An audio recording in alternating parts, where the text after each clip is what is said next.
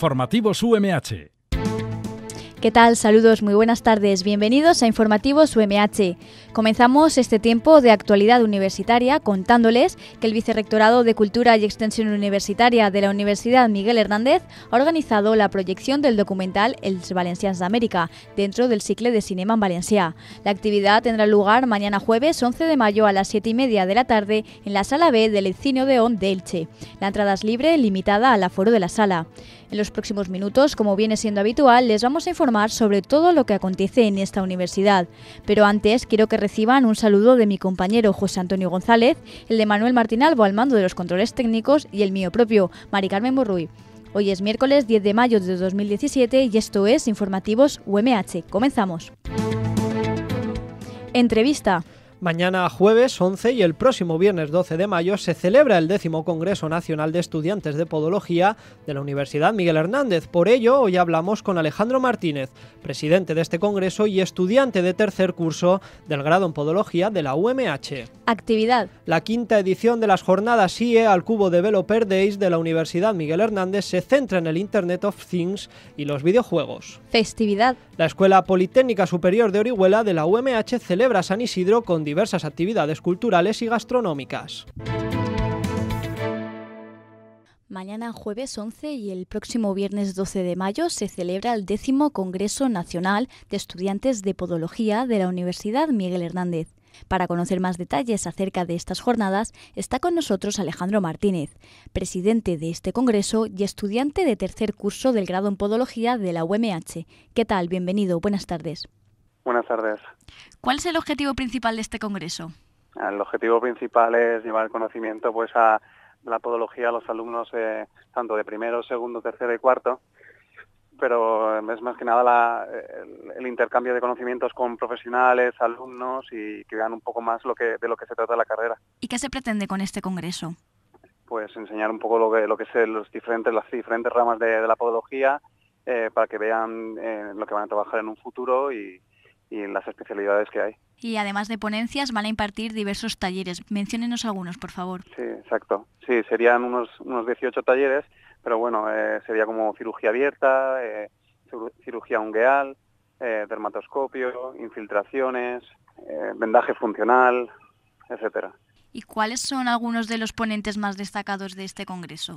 En, a este congreso va a venir, por ejemplo, el podólogo del Madrid, que sería Víctor Alfaro, Luego también estaría Bernardino Basas, que es un, cirujano, muy famoso. También viene José Luis, José Luis Lázaro, que es, un especialista en pidiabético. Eh, y muchos más. Luego también está Roberto Pascual, que es de, de, esta, de esta universidad, que es eh, especializado en podología infantil, etcétera. ¿Qué les aporta o qué les supone a los estudiantes compartir aula con estos expertos en la materia? Supongo que el tema de, escuchar a, personajes públicos, eh, profesores, eh, profesionales de, este nivel, supongo que eh, a ellos les aporta un montón. No todos los días vas a estar al lado de... No, por ejemplo, al ser a nivel nacional, los alumnos de fuera, no, no todos en todas las carreras, en todas las universidades de podología tienen las mismas asignaturas o, o se especializan tanto en, en, una rama. Entonces, de esta manera, en, en el Congreso de Podología de, Nacional, pues eh, es un poco verlo, ver de todo. ¿Cuántos estudiantes van a participar en la décima edición de este Congreso? Pues este año no, nos hemos superado y van a ser unos, unos 410, 410 personas. Estamos tuvimos que cerrar, cerrar, lo que es la inscripción hace casi dos meses por exceso de aforo y unos, unas 410 personas van a venir. Además hablaba que venían estudiantes de todas las partes de España. ¿Qué supone hmm. que alumnos de diferentes universidades compartan espacio y compartan este congreso? Pues el hecho de, de conocer a gente, de saber que, de que tienes eh, compañeros fuera, de, sobre todo es eso, conocer mucha gente de fuera para tener luego contacto en un, en un futuro. Nunca viene más. Pues le damos las gracias a Alejandro Martínez, presidente del décimo Congreso Nacional de Estudiantes de Podología de esta universidad, por habernos acompañado en Informativos UMH. Muchas gracias. Gracias a ustedes. Hasta luego. Pasan cinco minutos de las dos y seguimos en Informativos UMH contándoles que la quinta edición de las jornadas IA al Cubo Developer Days de la Universidad Miguel Hernández se centran en el Internet of Things y los videojuegos. La rama de estudiantes del Instituto de Ingenieros Eléctricos y Electrónicos UMH de Elche, con el apoyo de la Escuela Politécnica Superior de Elche y la Delegación de Estudiantes de la UMH, ha organizado la quinta edición de las jornadas IA al Cubo Developer Days, que se celebrarán el 11 y el 12 de mayo en el campus de Elche. Ángela Martínez, presidenta de la IE al Cubo, da más detalles sobre estas jornadas. El objetivo de estas jornadas es llegar a toda la comunidad universitaria que la rama de estudiantes de IE Cubo eh, se dé a conocer y sobre todo los proyectos en los que trabajamos. Este año los dos puntos fuertes de, de la rama han sido Internet of Things y videojuegos y por esto las jornadas eh, van sobre estos temas. Se hacen tanto talleres como ponencias de varias empresas y talleres por parte de varios miembros. La diferencia de, de estas jornadas respecto a otros eventos que realizamos a lo largo del año es que unas suelen ser exposiciones de los proyectos que nosotros hemos realizado durante el curso y en esto pues contactamos con empresas, con profesores que trabajan con nosotros y lo abrimos a toda la comunidad universitaria y es una forma de darnos también a conocer más. Las jornadas comenzarán mañana, jueves 11 de mayo, a las 9 y media de la mañana, en el aula 1.1 del edificio Altavix del campus de Elche. Sepan también que la Escuela Politécnica Superior de Orihuela de la UMH celebra San Isidro con diversas actividades culturales y gastronómicas. Un taller de repostería creativa, otro de camisetas hippies o el tradicional concurso de paellas son algunas de las actividades que la Escuela Politécnica Superior de Orihuela de la Universidad Miguel Hernández ha organizado hasta mañana jueves 11 de mayo para celebrar la festividad de San Isidro Labrador, patrón del centro. Ricardo Abadía, director de la EPSO, explica el objetivo y en qué consisten estas actividades. Eh, las actividades que están programadas para el día 11 eh, se corresponden con la fiesta del patrón de los ingenieros agrónomos y ingenieros técnicos agrícolas, que es San Isidro Labrador. El objetivo realmente es un día, un día de celebración, un día de conmemoración, para eh, relacionarse no solo en la cuestión académica y, profesional eh, del día a día, sino bueno pues algo un poco más lúdico.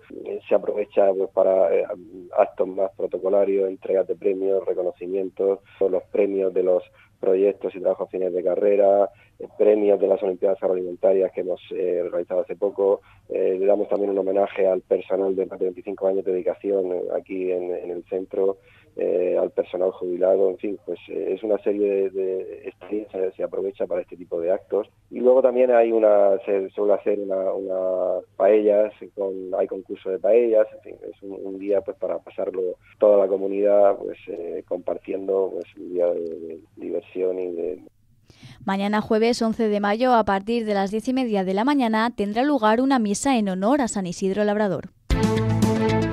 Vamos ahora con unos breves. El Vicerrectorado de Economía y Empresa, la Facultad de Ciencias Sociales y Jurídicas de Elche y el Observatorio Ocupacional de la Universidad Miguel Hernández han organizado una jornada de empleo dedicada al ámbito del derecho. Las actividades tendrán lugar mañana jueves 11 de mayo a partir de las 10 de la mañana en el aula 06 del edificio Altavis del campus de Elche i l'alumna del curs d'expert universitari en competència professional per a l'ensenyament en valencià de la Universitat Miguel Hernández, Maria Isabel Blanco Arnejo, ha guanyat el 14è concurs universitari de narrativa curta en valencià Premi Sambori 2017. Amb el relat Tinc un secret per a tu. El premi està dotat amb 1.000 euros. ¿Cómo presentar tu proyecto ante inversores? Es el título de la jornada que impartirá mañana jueves 11 de mayo el director de Innovación y Transferencia de la Universidad Miguel Hernández, José María Gómez Gras. La actividad organizada por el programa Youth UMH se celebrará a las 17 de la tarde, a las 5 de la tarde, en la sala de Tecnolab del edificio Innova del campus de Elche. Y sepan también que el fundador y director de la empresa Euradia Internacional, Ángela Dey, impartirá mañana, jueves 11 de mayo, el desayuno formativo Elaboración de proyectos I más D I en H2020 para empresas. La actividad, organizada por el Parque Científico de la Universidad Miguel Hernández, tendrá lugar a las 10 y media de la mañana en el edificio Quorum 3 del campus de Elche. Nada más, hasta aquí el informativo de hoy, miércoles 10 de mayo de 2017. Nosotros volvemos mañana con más información sobre la UMH. Hasta entonces.